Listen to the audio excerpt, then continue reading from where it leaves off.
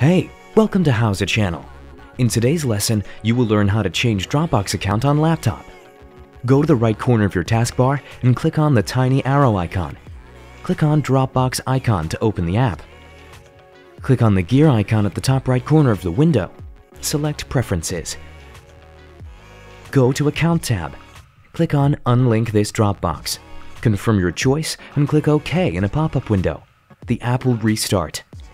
Log into the account you need. Enter an email and a password. Click on Sign In. Click on Open My Dropbox. Select a new folder for your Dropbox account. Click on Choose another location. In the new window, select the folder and click OK. Click on Get Started.